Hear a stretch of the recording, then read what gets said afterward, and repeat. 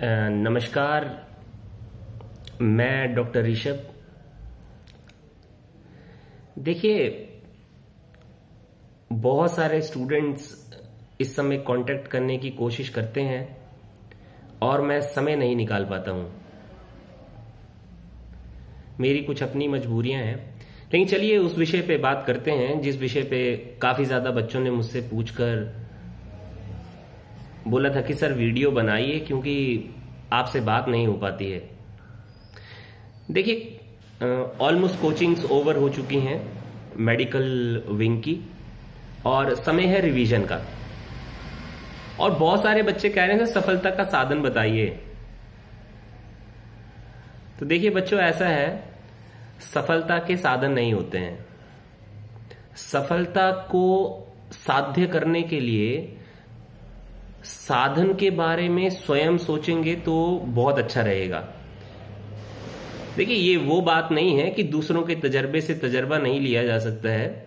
लिया जा सकता है, लेकिन देखिए, जो प्लानिंग आप खुद से करते हैं, वो बहुत अच्छी होती है। दूसरों की प्लानिंग से प्रेशर ज़रूर ज़्यादा हो जाता है। लेकिन फिर भी मैंने कुछ सफलता के साधन आप लोगों के लिए जुटाए हैं। तो मैं शेयर करना चाहूँगा और कोशिश करिएगा कि अगर आप फॉलो कर पाए तो करिएगा, नहीं तो अपने सफलता के साधन बनाने की कोशिश करिएगा।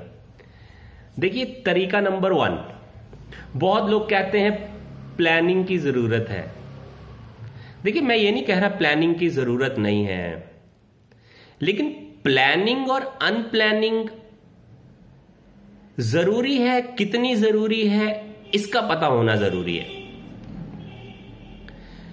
प्लान की हुई चीज़ों में अनप्लैंड चीज़ों को डालने की कोशिश मत करिए। देखिए, जैसे मैं आपको बहुत सिंपल से एग्जांपल से बताने की कोशिश करूँगा। देखिए, सुबह आप जब कोचिंग क्लासेस के लिए जाते होंगे तो आपने बहुत कॉमन ये मिस्टेक कर रखी होंगी। आप ज़्यादातर लोग पीछे बैठते हैं बैक बेंचेस देखिए बैक बेंचेस पर बैठने का मज़ा ज़रूर लीजिए, लेकिन बैक बेंचर मत बनिएगा।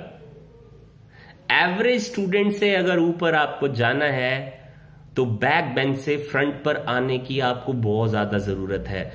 टीचर जब पढ़ा रहा है, पाँच से छह घंटे जब आपकी क्लासेस हैं तो कोशिश करिए प्लैंड वे में उस टीचर को सुनने की कोशिश करिए।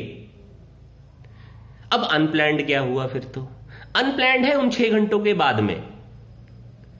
छह घंटों के बाद में जब आप पढ़ाई नहीं कर रहे हैं, वो हो गई आपकी अनप्लैंड थिंग्स बीच में क्लासेस के ब्रेक जो आई, वो भी हो गई अनप्लैंड आप हंसिए, खेलिए, दोस्तों से बातचीत करिए फ़ोटोज़ लीजिए वीडियोस बनाइए फेसबुक चलाइए इंस्टाग्राम चलाइए, कुछ भी करिए. अनप्लैंड टाइम में करिए. प्लैंड टाइम में बिल्कुल मत करिएगा. प्लैंड टाइम में ही दूसरी चीज़ जिसको आप बहुत आसानी से सक्सेस का साधन बना सकते हैं, ये जो गैजेट्स है ना गैजेट्स फोन्स टैबलेट्स बहुत बड़ी बीमारी है। कोई मुझसे पूछे एचआईवी ज़्यादा बीमारी है या गैजेट बीमारी है? मैं कहता हूँ गैजेट्स बहुत बड़ी बीमारी है। एचआईवी के लिए फिर भी हमारे पास में दवाइयाँ अवेलेबल हैं। इन गैजेट्स के लिए हमारे पास कोई दवाई नहीं है। धीरे धीरे कर कर हम इनके आदि होते जा रहे हैं। और ये प्लैंड टाइम में अनप्लैंड टाइम का पार्ट प्ले करती हैं। दूर हो जाइए।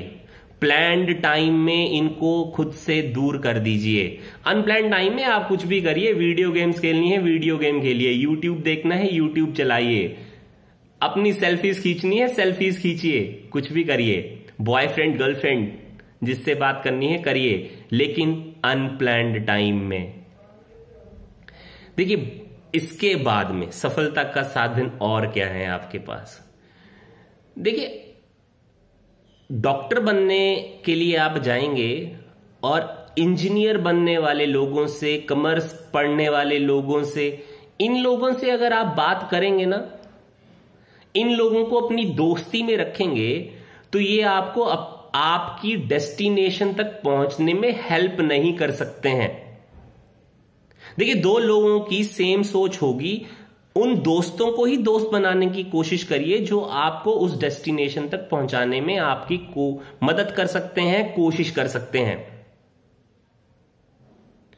इसके बाद देखिए, मैं बहुत कॉमन आप ऐसा ना सोचें कि मैं आपको मना कर रहा हूँ कि दोस्त मत बनाइए इंजीनियर पढ़ने वाले, जो पढ़ाई करने वाले कोचिंग लेने वाले, जो आपके दोस्त हैं, उनसे दोस्ती मत रखिए, ये मेरी इंटेंशन नहीं है। मेरा सिर्फ़ बताने का मकसद ये है कि प्लानिंग के अकॉर्डिंग या प्लान्ड टाइम के अकॉर्डिंगली आपको उन्हीं दोस्तों से बात करनी चाहिए जो दोस्त आपको उस डेस्टिनेशन तक पहुँचाने में आपकी हेल्प कर सकते हैं या आपकी सोच के साथ में उनकी सोच मिलती है।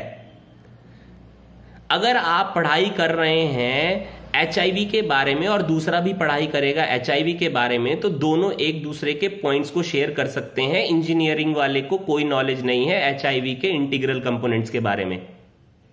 शायद मेरी बात आपको समझ आ गई होगी। एक चीज़ और, जिसके बारे में बहुत लोगों ने मुझसे पूछा कि, सर एनसीआरटी एनसीआरटी एनसीआरटी ही लोग कहते रहते हैं एनसीआरटी कितनी इंपॉर्टेंट मैंने कहा, जी इंपॉर्टेंट है। बहुत ज़रूरी है। 60 से 70 प्रतिशत आपके एमसीक्यूज जो होते हैं, वो एनसीआरटी से ही आते हैं। लेकिन एनसीआरटी की डायरेक्ट लाइंस को भी याद करना बहुत मुश्किल है। इसीलिए कॉन्सेप्चुअल वे में ही उन चीज़ों को याद करने की कोशिश करिए। टीचर्स के साथ बैठिए।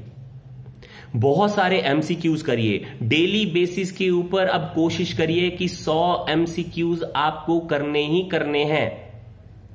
प्लान बनाइए। प्लैंड टाइम में प्लान बनाइए। अनप्लैंड टाइम में नहीं, उस समय मज़े करिए। पूरी नींद लीजिए। खेलिए, कूदिए टीवी देखिए म्यूज़िक सुनिए, कुछ भी करिए। मैं ये नहीं कहता हूँ कि ये सब मत करिए। बॉयफ्रेंड मत बनाइए गर्लफ्रेंड मत बनाइए। मेरे को इससे कोई रुकावट नहीं है। आपको जो मन आए, वो सब करिए। लेकिन प्लैंड टाइम का पूरा यूज़ करिए।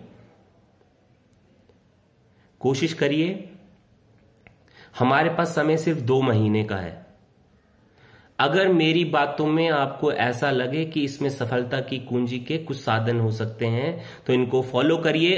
अगर नहीं है, सफलता के साधन खुद से बनाइए। समय सीमित है। कोई रुकावट आए, कोई परेशानी आए, कोई क्वेश्चन हो।